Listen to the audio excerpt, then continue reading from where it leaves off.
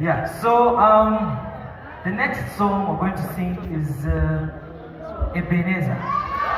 So uh, Ebenezer is a song that reminds us of how far we've come and um, how thankful we are to God for keeping us. Yeah, you see, we've come from love.